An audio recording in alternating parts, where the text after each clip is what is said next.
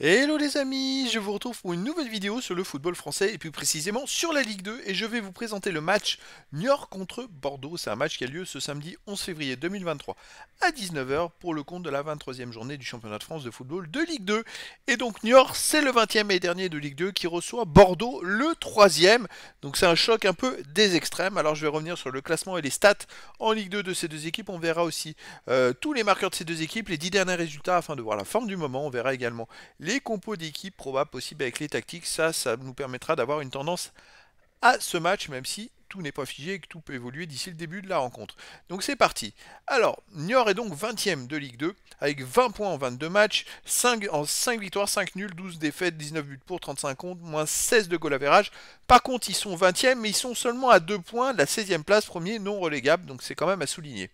De son côté, Bordeaux est 3ème avec 39 points en 22 matchs, avec 11 victoires, 6 nuls, 5 défaites, 31 buts pour, 16 contre, plus 15 de goal average.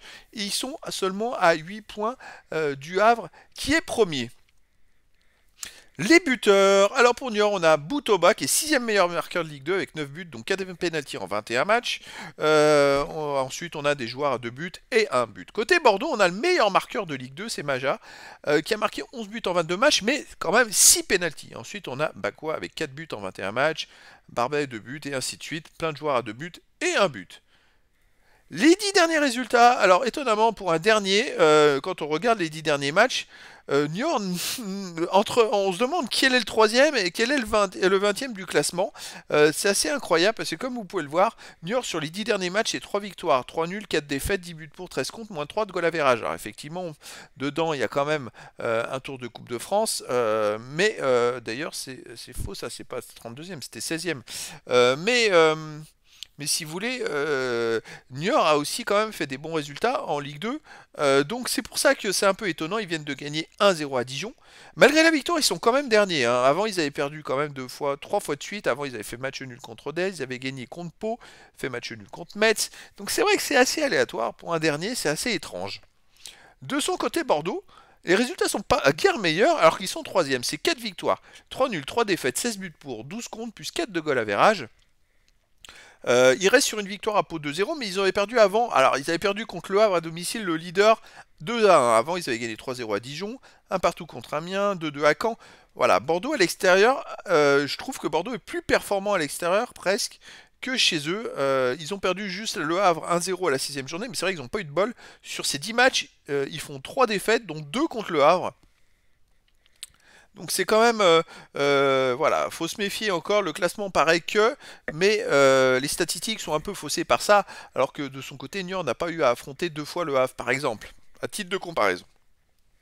Les compos d'équipe probables possibles avec les tactiques, tout peut évoluer d'ici le début du match, mais ça nous permettra d'avoir une tendance à cette rencontre. Pour Niort gardien, Michel, défense Valier, Comté, Passy, Bernard, milieu de terrain défensif, Benchama, Cabouré, mi-offensif et Oletan, Oussania, Boutoba, Mergi, attaquant, Rocheteau, c'est du 4-2-3-1. Pour Bordeaux, gardien Poussin, défense Michelin, Gregersen, Bokele, Simba, euh, milieu de terrain Lakoum, Vanga, France Sergio, attaquant David Tajvili, Maja, Bakwa. Euh, pour euh, Bordeaux, c'est du 4-3-3 tout simplement. Euh, Bordeaux 4-3-3.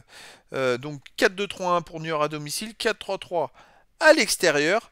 voilà, ça te permet déjà d'avoir une idée sur cette rencontre. Alors voilà les amis, c'est quand même un choc des extrêmes. York a absolument besoin de gagner pour et besoin de points pour sortir de la zone rouge. Bordeaux a absolument besoin de gagner pour se rapprocher du premier. Donc les amis, je vous donne rendez-vous ce samedi 11 février 2023 à 19h pour le match de la 23e journée du championnat de France de football de Ligue 2. Niort le 20e reçoit Bordeaux le 3e. Voilà les amis, je vous dis à très bientôt pour une nouvelle vidéo.